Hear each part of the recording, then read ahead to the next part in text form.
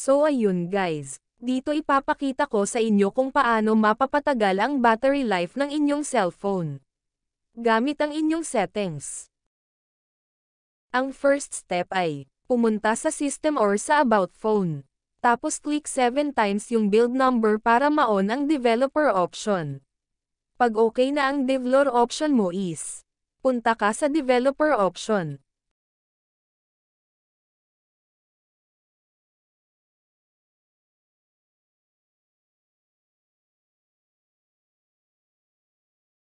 Click Developer option. Tapos Enable Developer option.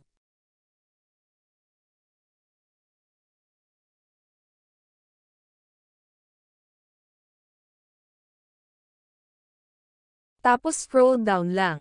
Hanapin nyo yung background process limit.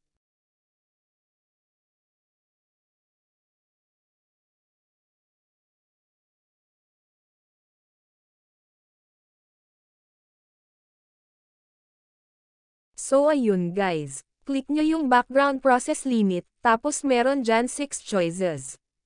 Pero ang pipiliin nyo dapat dyan is yung no background process limit para automatic mako-close yung apps pag hindi mo na ginagamit.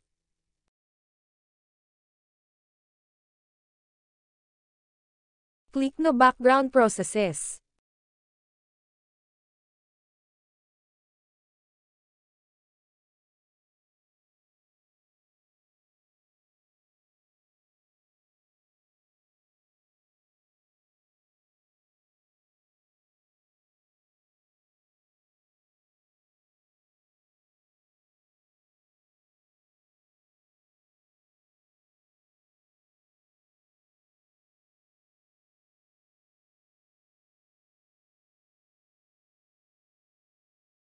Next step is, click nyo yung Google.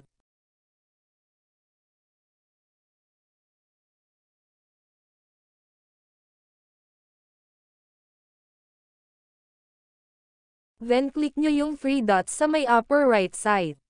Click Usage and Diagnostics. Then turn off mo ito.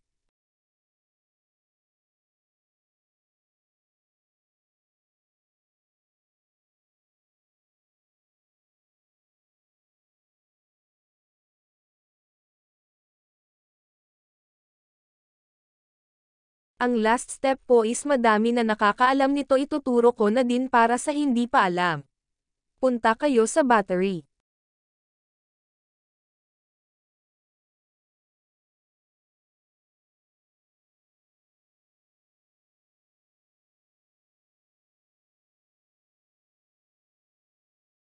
Oo nga pala guys, kung nahihirapan kayo makita developer option pwede nyo gamitin yung search bar para mabilis nyo makita.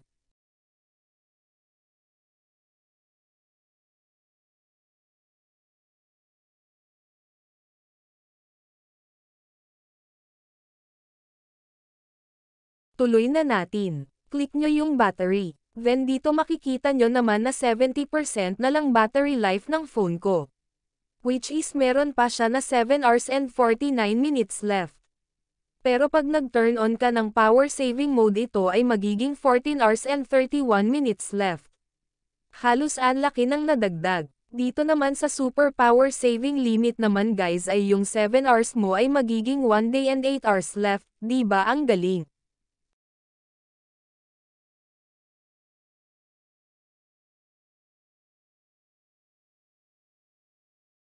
So ayun lang guys. Sana po ay meron kayong natutunan sa aking ibinahagi.